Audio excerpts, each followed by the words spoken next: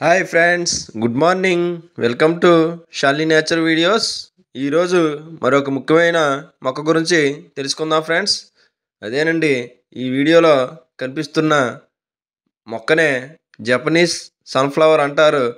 దీనినే Mexican sunflower మరియు tree marigold Mexican టోర్నిసోల్ మరియు నిటోబ్ క్రిసాంతిమం అని కూడా దీన్ని పిలుస్తూ ఉంటారు.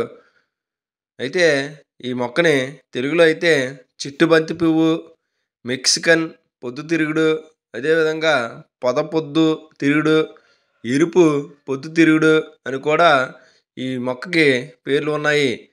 అయితే ఈ మొక్క యాక్చువల్గా మన దేశానికి చెందినది కాదు. ఇది మెక్సికో మరియు మధ్య అమెరికాకు చెందిన మొక్క.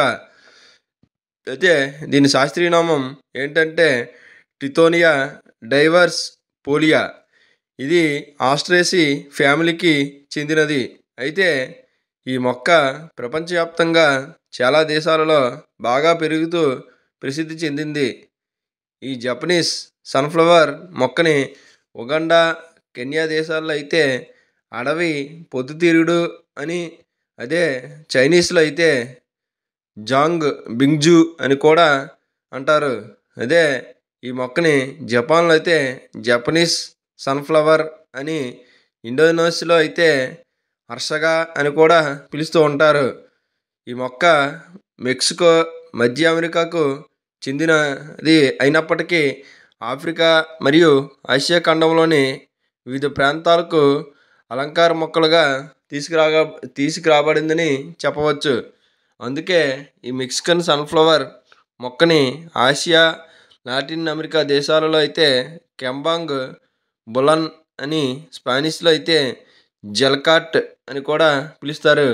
అదే ఈ మొక్కని థాయిలాండ్ దేశంలో అయితే బ్యూటాంగ్ అని కూడా పిలుస్తారు.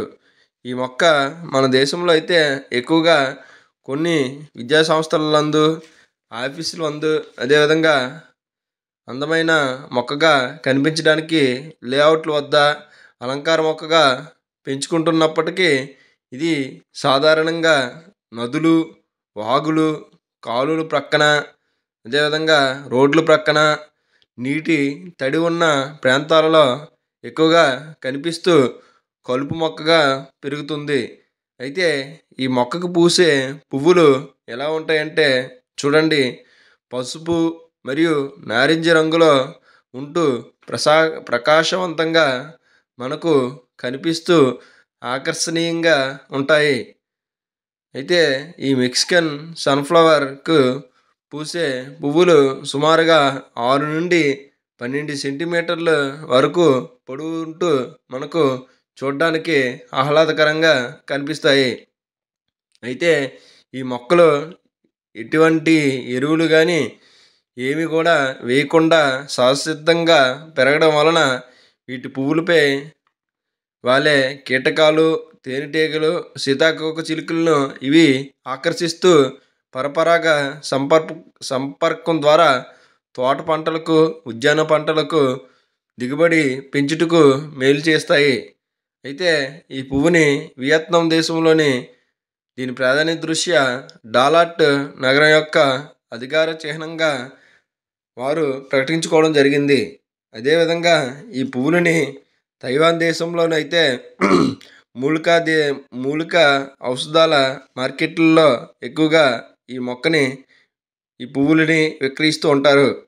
అయితే ఈ మెక్సికన్ సన్ఫ్లవర్ మొక్క రైతులకి పచ్చి ఎరువుగా కూడా ఉపయోగపడుతుంది.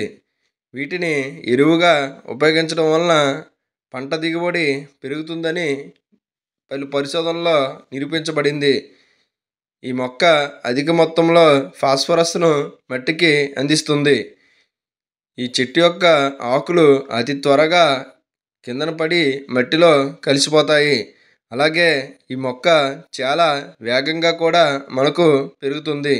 అదేవిధంగా ఈ మొక్క ఎక్కువగా కరువును తట్టుకొని కూడా బాగా పెరుగుతుంది. ఇది పదిహేను నుండి ముప్పై ఏడు డిగ్రీలు టెంపరేచర్ ఉన్న ప్రాంతాలలో కూడా ఎటువంటి ఇబ్బంది పడకుండా బాగా పెరుగుతుందని చెప్పవచ్చు.